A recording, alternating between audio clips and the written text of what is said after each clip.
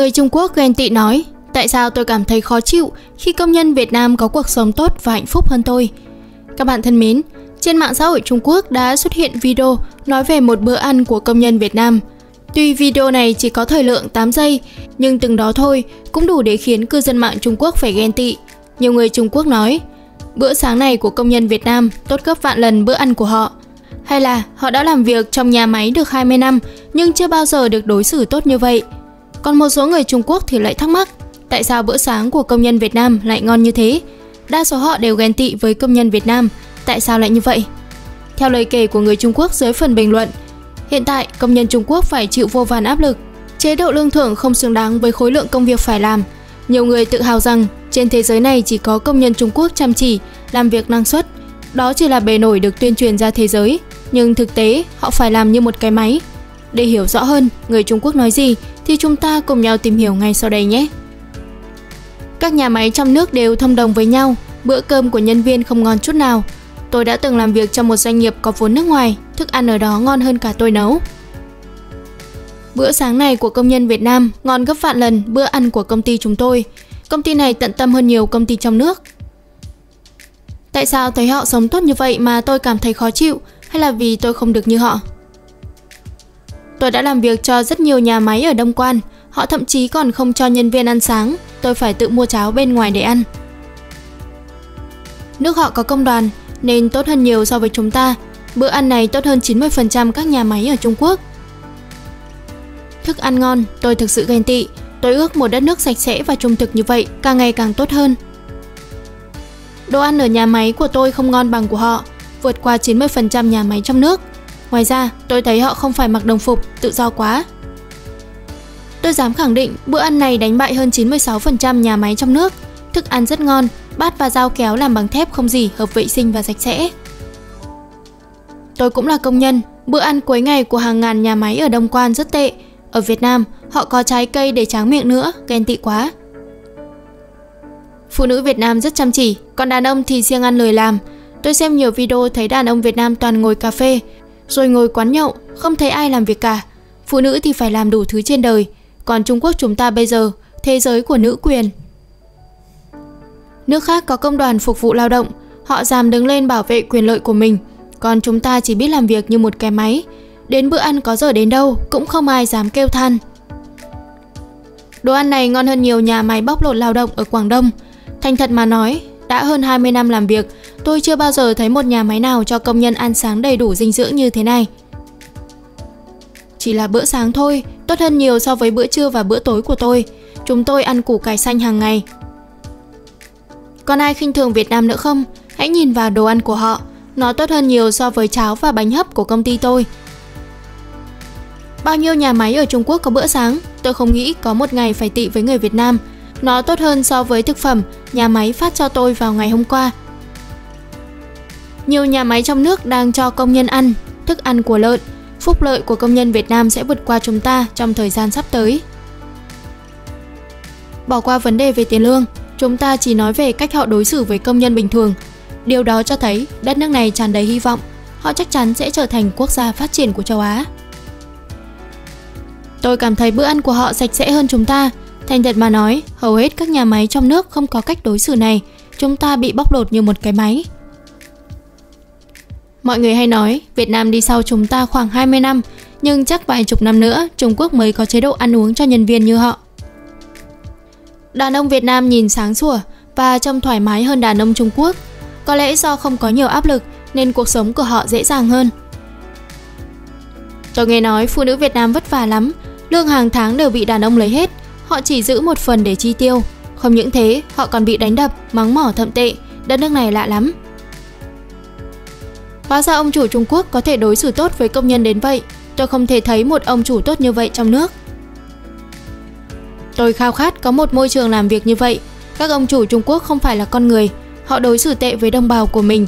Nhưng khi đến Việt Nam mở nhà máy thì họ lại đối xử tốt với công nhân. Chuyện gì đang xảy ra vậy? Đó là do Việt Nam có luật bảo vệ người lao động và có công đoàn hỗ trợ. Đặc biệt, người Việt Nam không giỏi chịu đựng như chúng ta, họ sẵn sàng nghỉ việc bất cứ lúc nào nếu công ty đó không tốt. Việt Nam ngày càng tốt hơn, họ chăm lo cho bữa ăn của công nhân và người bình thường như thế này là quá tốt.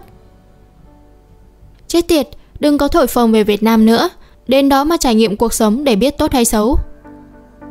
Tôi từng làm việc ở Bình Dương, Việt Nam, công nhân của họ thoải mái và hạnh phúc hơn nhiều, cứ mỗi tối là đi quán cà phê, quán nhậu đông kín người. Đàn ông Việt Nam ai nấy đều không có dấu hiệu mệt mỏi.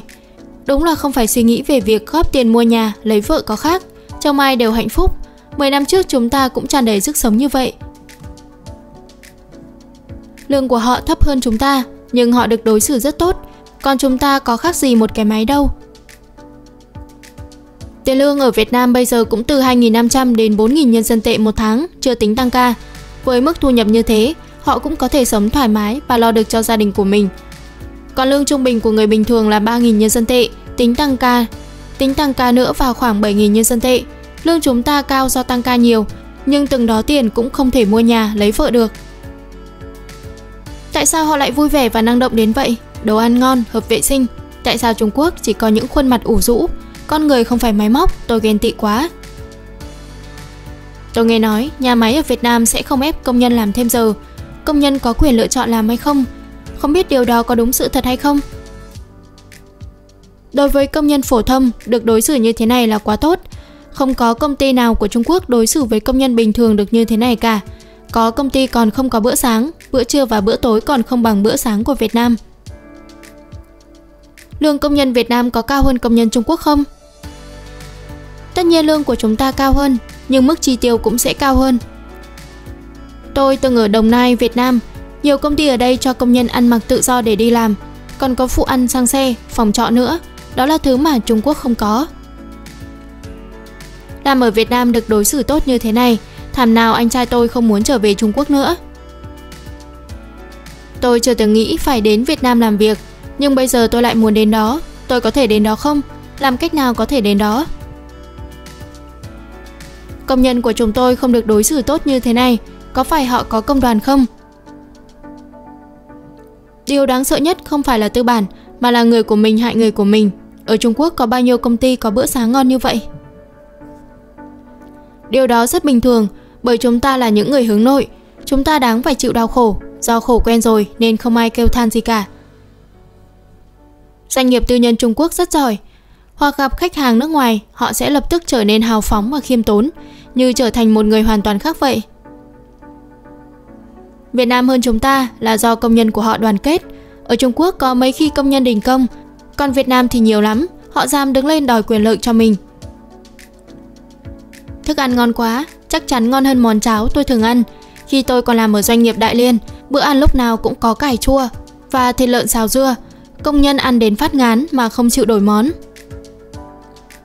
Bình tĩnh đi mọi người, ở Việt Nam có tổ chức công đoàn, không phải do công ty tử tế đâu. Đi ra ngoài và nhìn xung quanh mới biết thế giới rộng lớn biết bao, chúng ta không thể đổ lỗi cho người khác khi chúng ta không dám đấu tranh vì lợi ích của mình. Tôi đã làm việc tại một nhà máy sản xuất thuốc đông y Nhật Bản ở Thanh Đảo.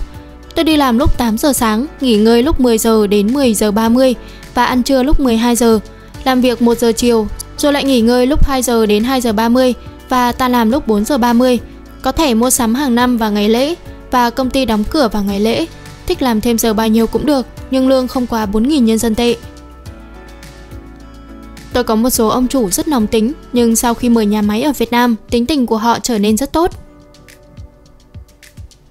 Tôi chợt nhớ ra rằng vào năm 2006, việc vạn ốc vít trong một doanh nghiệp do Đài Loan tài trợ ở Tô Châu thực sự rất khó khăn. Khi đó tôi đã phải gấp rút chạy theo sản phẩm cả ngày và thậm chí không dám rời bỏ công việc để đi vệ sinh. Chúng ta là những cỗ máy, những người khác là con người. Hãy nhìn vào bữa sáng của họ, có thịt, có rau, có hoa quả đầy đủ. Câu nói kinh điển, khi một người đồng hương nhìn thấy một người đồng hương, hãy đầm sau lưng anh ta. Giờ nghĩ lại không sai chút nào. Mấu chốt là công đoàn lên tiếng thay công nhân, còn công đoàn của chúng ta do người thân của lãnh đạo nhà máy nắm giữ. Bây giờ tôi đã hiểu vì sao Trung Quốc lại bị gọi là công xưởng bóc lột sức lao động rồi. Đến bữa ăn sáng của công nhân cũng không đàng hoàng bằng một nước kém phát triển. Ở nước ngoài, các ông chủ Trung Quốc không dám làm gì, nhưng người Trung Quốc thì họ tàn nhẫn với công nhân của mình. Tôi đã làm việc nhiều năm và chưa bao giờ thấy một nhà máy nào đối xử với những nhân viên bình thường như thế này ở Trung Quốc. Đó là vì công nhân của chúng ta chưa đoàn kết. Nếu đoàn kết thì chúng ta đã sống cuộc sống như thế này từ lâu rồi. Hạnh phúc hay không là do tự mình phấn đấu. Người Việt Nam hạnh phúc là do tự họ đấu tranh mà có. Thử hỏi, có bao nhiêu người Trung Quốc dám đình công và lên tiếng đòi quyền lợi như họ? Phía trên là một số bình luận của cư dân mạng Trung Quốc. Ngoài ra còn chục ngàn bình luận khác nữa. Đa số người Trung Quốc đều ghen tị khi thấy bữa sáng của công nhân Việt Nam. Họ nói bữa ăn này vừa ngon vừa sạch sẽ, lại còn có hoa quả nữa, tốt hơn 90% công ty Trung Quốc. Vì nhiều công ty ở Trung Quốc không có bữa sáng, nếu có thì cũng chỉ được ăn cháo trắng với củ cải muối. Còn về vấn đề bóc lột sức lao động thì ở đâu cũng có, chứ không riêng gì Trung Quốc. Rất nhiều công ty ở Việt Nam chờ chẽn, đòi hỏi thì trên trời, nhưng lương thì ối rồi ôi. Còn có nhiều công ty có những quy định vô lý trừ lương nhân viên, luôn tìm cách bắt lỗi để phản nhân viên của mình. Nhưng cái hơn của người lao động Việt Nam đó là chúng ta biết đứng lên đấu tranh đòi quyền lợi, chứ không như Trung Quốc, chỉ than khổ chứ không dám đấu tranh. Về chế độ ăn uống, phụ cấp sang xe, nhà trọ vân vân, đây là chế độ cơ bản của các công ty ở Việt Nam, ở đâu cũng có thôi. Đó là nội dung của ngày hôm nay, còn các bạn có suy nghĩ gì thì hãy bình luận ở phía dưới để mọi người cùng nhau theo dõi nhé. Cảm ơn các bạn đã xem hết video và hẹn gặp lại các bạn ở những nội dung tiếp theo.